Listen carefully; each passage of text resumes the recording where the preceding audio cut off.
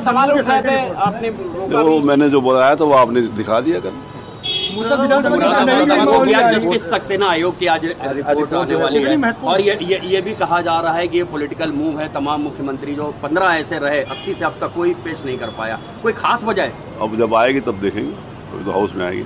कोई political gain लेने के लिए मैं पॉलिटिकल गेन और ना गेन के लिए वहाँ पर नहीं बैठा।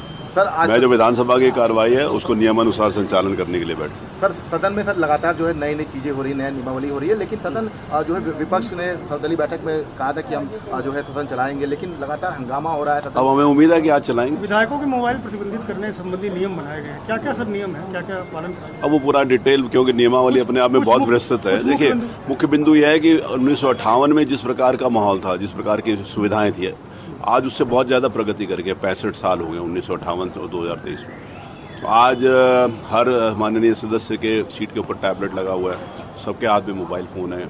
आज ई विधान लागू हो गया। आज लोग बहुत तेज़ी से काम करना चाहते हैं। पहले जो सूचनाएँ नब्बे दिनों के अंतर्गत आती थी, आज नब्बे दिनों की ज़रूरत नहीं है। आज कम दिनों के अंतर्गत उसके सूचनाएँ आ सकती हैं। आज अकाउंटेबिलिटी विधायक की भी ज़्यादा है जनता के प्रति, सरकार की भी विधायिका के प्रति ज़्यादा है।